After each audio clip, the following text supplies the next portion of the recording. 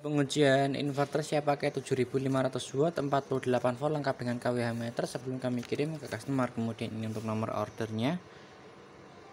Langsung aja kita uji di sini. Sebelum saya uji menggunakan beban saya akan menunjukkan untuk settingan dari LVD digital ini ya. Langsung aja kita nyalakan inverternya terlebih dahulu.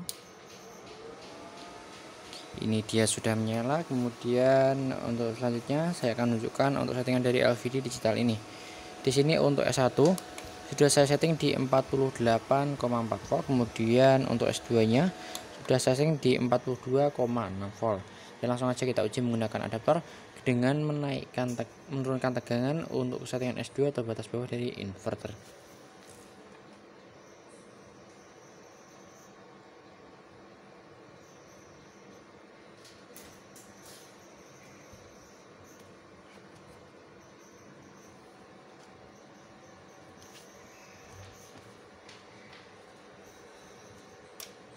ini setelah saya turunkan tegangan otomatis inverter proteksi off nih. Kemudian saya akan naikkan tegangan untuk settingan S1 atau inverter ini pertama kali hidup.